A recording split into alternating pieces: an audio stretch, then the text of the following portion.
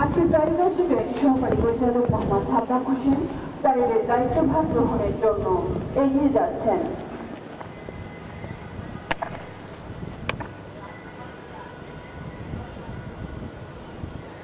সমাপনী পরব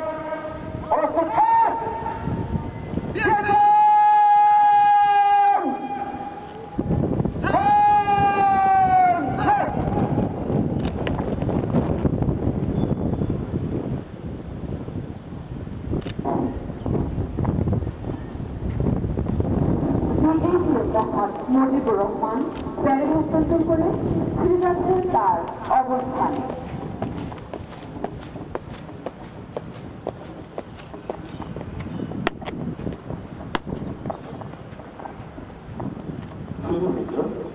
উনিশশো বাউন্ন সালের ভাষা আন্দোলনে ব্যাংকের সর্বোচ্চ মহিমায় আনসার কমান্ডার আব্দুল জাফারও জীবন উৎসর্গ করেছিলেন আব্দুল জাফর জীবন উৎসর্গ করে মাতৃভাষা বাংলাকে রাষ্ট্রভাষা হিসেবে প্রতিষ্ঠা করার যে স্বপ্নটিকে লালন করেছিলেন তা বাস্তবায়িত হয়েছে।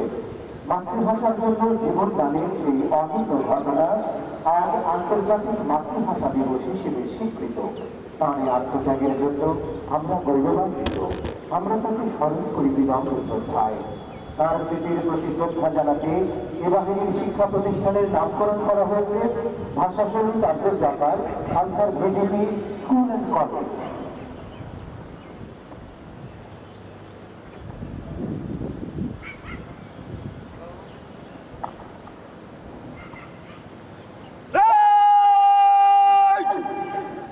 অস্ত্র নামাবে অস্ত্র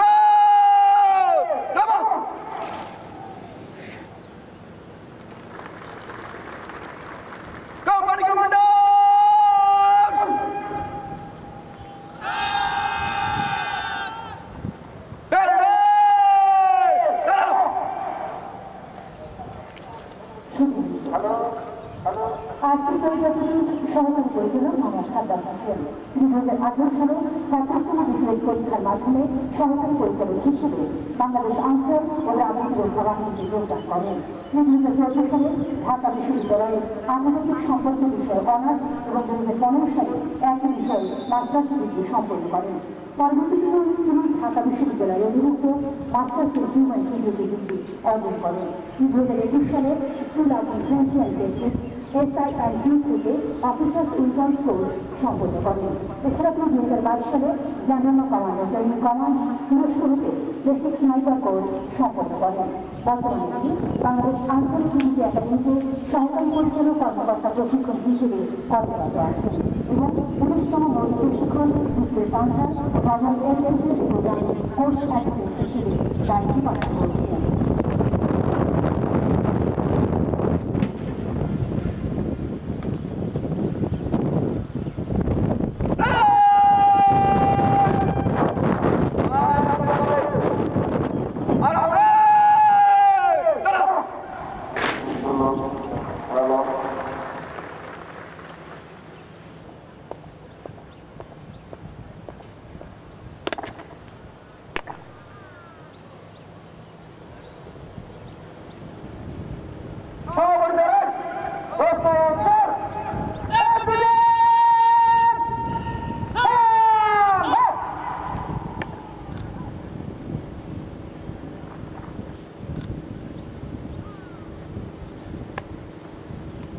প্যারেড কমান্ডার প্যারেডের দায়িত্বভার গ্রহণ করলেন